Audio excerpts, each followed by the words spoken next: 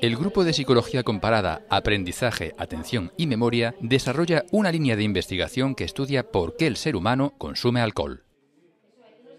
Nuestro grupo de investigación desarrolla una línea de trabajo que está centrada en la psicobiología. La psicobiología estudia la relación entre el sistema nervioso y el comportamiento y en concreto la conducta que a nosotros nos interesa estudiar es la conducta de consumo de alcohol.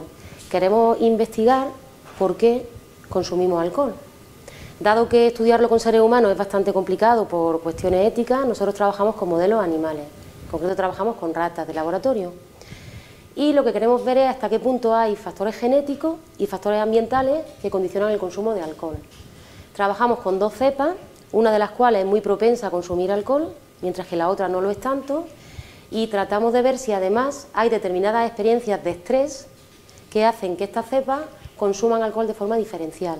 De esta manera lo que queremos ver es cómo interaccionan los genes y el ambiente para determinar que desarrollemos un cuadro adictivo.